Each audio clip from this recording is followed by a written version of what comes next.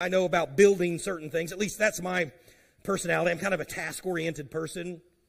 Um, before I was in ministry, I, I did a lot of blue collar work and I enjoyed it because at the end of the day, you could see what you had produced, uh, whatever that was. I could see I've done this amount of work and I could go home and feel like I've done a great day's work.